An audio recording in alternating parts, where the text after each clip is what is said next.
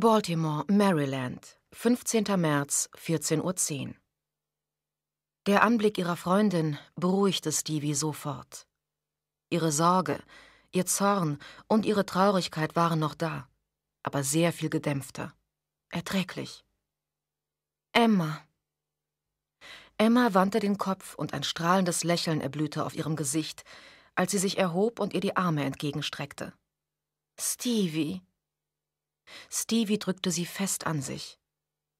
Von der Größe her passten die beiden hervorragend zueinander. In jeder anderen Hinsicht waren sie diametral verschieden. Emma war ganz Mädchen, liebte Kleider, Make-up und Schmuck, während Stevie sich in Jeans und T-Shirt und der Waffe im Schulterholster am wohlsten fühlte. Emma war Akademikerin und hatte schon mehrere Bücher veröffentlicht. Stevie konnte meist nie lange genug stillsitzen, um ein Buch zu lesen. Eine bemerkenswerte Ausnahme war Emmas Buch Mundgerecht, das von Traumabewältigung handelte. Stevie hatte es wieder und wieder gelesen, bis die Worte in ihrem Kopf lauter waren als das Gebrüll der Einsamkeit. Mundgerecht hatte Stevie geholfen, die unbeschreibliche Trauer des 15. März zu ertragen. Damals hatte Stevie nicht geglaubt, dass sie diesen Tag überleben könnte. Und wäre nicht das Baby gewesen, das in ihrem Bauch herangewachsen war, dann hätte sie das vielleicht auch nicht. Cordelia hatte ihr Grund gegeben, am Leben zu bleiben. Emma hatte ihr dabei geholfen, die richtige Methode dafür zu finden. Und so war sie einen Tag nach dem anderen angegangen. Man kann sogar einen Elefanten essen, wenn man immer ein Häppchen nach dem anderen zu sich nimmt, sagte Emma gerne. Ich bin so froh, dass du hier bist, flüsterte Emma eindringlich. Ich habe die Schießerei vom Dezember im Fernsehen gesehen und hatte solche Angst. Bist du in Ordnung? Wirklich in Ordnung? An manchen Tagen mehr als an anderen.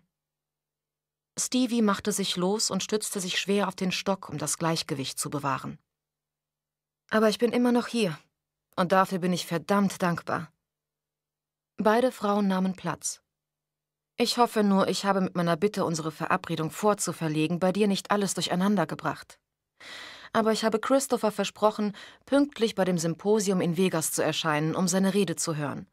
Ich muss um halb fünf am Flughafen sein. Izzy bringt Cordelia zum Ballett. Daher bin ich flexibel.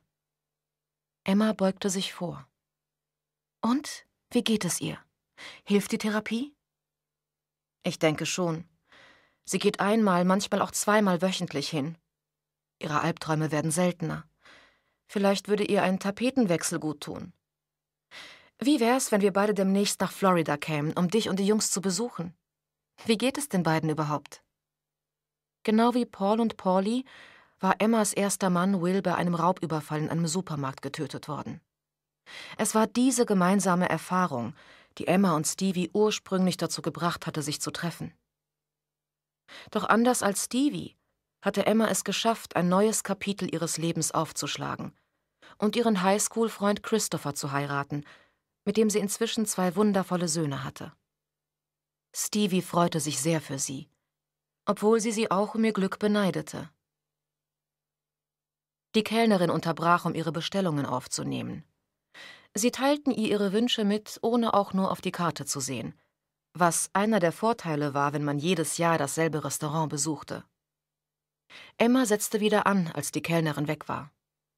Die Großeltern fahren mit den Jungs nach Disney World, und Christopher und ich dürfen derweil einen Trip nach Vegas unternehmen. Allein. Ohne Kinder.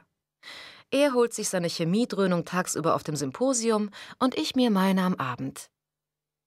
Ihre Augen funkelten verschmitzt. Du könntest mitfahren und ich verkupple dich mit einem von Chris Freunden. Stevie kniff die Augen zusammen. Fang gar nicht erst so an, Emma. Ernsthaft, ich will nicht verkuppelt werden. Schon gut, schon gut. Emma hob ergeben die Hände. Ich dachte ja bloß, dass du vielleicht offen für jemand Neuen wärst, jetzt, wo das mit diesem Privatermittler nichts wird. Stevie sah sie verblüfft an. Clay Maynard. Sofort brach eine Flut von Erinnerungen über sie herein. Woher weißt du davon? fragte sie, sorgsam darauf bedacht, ihre Verstimmung nicht zu zeigen. Emma verzog das Gesicht. Dein Bruder hat mir erzählt, dass es im Krankenhaus zum Bruch gekommen ist. Warte nur, Sorin. Dir trete ich in den Hintern. Ihr Zwillingsbruder war schlimmer als ein Waschweib. Zwischen uns war nichts, was mit einem Bruch hätte beendet werden können, was immer man dir erzählt hat, sagte Stevie, und das war die Wahrheit. Wir haben uns kein einziges Mal verabredet, und er hat mich einmal im Krankenhaus geküsst, das war alles. Er lungerte in meinem Zimmer herum wie ein streunender Hund. Deswegen habe ich die Leine abgemacht und ihn laufen lassen. Und das grober, als es nötig gewesen wäre. Aber sie hatte nicht riskieren wollen, dass er weiterhin hoffte. Das wäre einfach nicht fair gewesen. Wem gegenüber? Ihm oder dir? Emma betrachtete sie eingehend, und in Stevie wuchs der Verdacht, dass ihre Fassade nicht so überzeugend wirkte, wie sie dachte. Und warum hast du ihn laufen lassen? War er unfreundlich zu dir? Ist er unattraktiv? Unattraktiv. Grundgütiger Nein. Stevies Herzschlag stolperte jedes Mal, wenn sie an ihn dachte. Groß, dunkel, stark. Sein Gesicht war schön. Sein Herz voller Ehrgefühl. Unfreundlich? Oh nein. Eher war das Gegenteil der Fall. Er war zu freundlich, zu mitfühlend und zu geduldig. Er würde ewig auf sie warten, wenn sie es zuließe. Aber das konnte sie nicht. Er hatte es verdient, etwas Gutes aus seinem Leben zu machen. Vor allem mehr, als sie ihm geben konnte. Bitte, ich möchte jetzt nicht darüber sprechen. Nicht ausgerechnet heute. Okay. Doch Emma sah nicht so aus, als würde sie es dabei belassen. Sag mal, auch Cordelia hat doch Frühlingsferien, oder? Wie wäre es denn, wenn du dir zwei Tickets nach Orlando für heute Abend kaufst? Ich fliege nach Vegas, bleibe bei Christopher, bis er seine wichtige Rede gehalten hat, und fliege dann morgen nach Florida zurück. Du könntest dir einfach eine schöne Zeit mit Cordelia machen, anstatt an alten Fällen zu arbeiten, während du eigentlich wieder zu Kräften kommen sollst. Stevie sah sie wütend an. Das ist nicht dein Problem. Emmas Augen blitzten auf. Von wegen. Was ist denn, wenn der nächste Spinner erfolgreich ist? Gestern hast du Glück gehabt. Was, wenn die nächste Kugel trifft und dein Privatdetektiv nicht schnell genug bei dir sein kann, um dich zu retten? Weil du ihn einfach weggeschickt hast. Nur mit größter Mühe kämpfte Stevie ihren Zorn nieder. Hatten ihr Bruder und Emma das gemeinsam geplant? Mir ist nicht ganz klar, wieso du diesen Todeswunsch hegst, Stevie. Aber wenn du weiterhin in den alten Fällen herumstocherst, dann könnte er sich bald erfüllen. Irgendwann wird dich jemand erstechen, erschießen oder deinen Wagen in die Luft jagen, wenn du gerade eingestiegen bist. Und wenn du dann im Sterben liegst. Emmas Augen füllten sich mit Tränen. Dann wünschst du dir vielleicht, du hättest diesen Privatdetektiv nicht in die Wüste geschickt. Stevie verbiss sich den Sturm der Worte, die sie niemals würde zurücknehmen können. Ich muss mal eben zur Toilette. Sie brauchte einen Moment Ruhe, um ihren Jähzorn einzudämmen, der mit jedem Tag mehr Macht zu erhalten schien. Eilig sprang sie auf die Füße, packte ihren Stock und fuhr herum, nur um frontal mit der Kellnerin zusammenzustoßen, deren Tablett schwer mit Trinkgläsern beladen war. Als sie und die Kellnerin in einem Getöse aus schepperndem Metall und berstendem Glas zu Boden gingen, hörte Stevie Schreie und Emmas Stimme, die ihren Namen rief. Stevie rappelte sich auf Knie und Hände hoch, um zu sehen, wie es der Kellnerin ging. Die Frau lag in den Scherben auf dem Rücken und starrte an die Decke. Ohne zu blinzeln. Aus ihrer Schläfe sprudelte Blut. Aber das ergab keinen Sinn. Es handelte sich doch nur um ein paar zerbrochene Weingläser. Stevie richtete sich auf, um nach den Servietten auf dem Tisch zu greifen und die Blutung zu stoppen, und erstarrte. Das Fenster, an dem sie gesessen hatte, war zersprungen, und Emma war fort. Emma!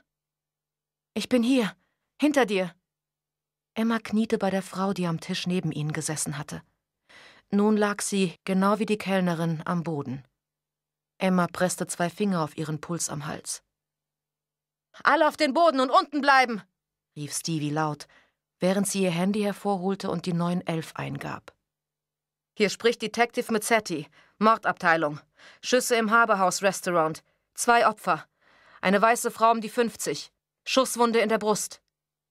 Sie tastete nach dem Puls der Kellnerin und fand keinen. Das zweite Opfer ist ebenfalls weiß, weiblich, ungefähr 25. Kopfschuss.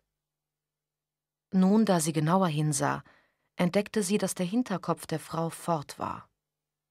Sie war definitiv tot. Sie kroch zum Fenster und spähte über den Sims, während sie den Eintrittswinkel einzuschätzen versuchte. Der Schuss könnte vom Dach des Hauses gegenüber abgefeuert worden sein, sagte sie der Zentrale.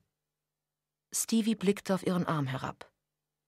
Ihr Pullover war mit Blut getränkt und Autsch, es brannte höllisch. Aber es war nicht schlimm. Sie hatte schon weit Schlimmeres eingesteckt. Bitte fordern Sie Detective J.D. Fitzpatrick und Lieutenant Peter Hyatt an. Stevie holte tief Luft. Ihr Partner und ihr Chef würden ihr dabei helfen, dies hier zu begreifen. Obwohl sie es im Grunde bereits tat. Gestern hat man auf mich geschossen. Heute wieder. Stevie klammerte sich verzweifelt an ihre ruhige Fassade. Man hat versucht, mich umzubringen und stattdessen zwei andere umgebracht. In meiner Nähe ist keiner mehr sicher. In ein, zwei Minuten ist Hilfe da, sagte sie zu Emma, die nun diejenige war, die die Stoffservietten auf die Brust der Frau drückte. Emma wandte den Kopf und begegnete Stevies Blick. Ich glaube, es ist zu spät. Ich glaube, sie ist tot.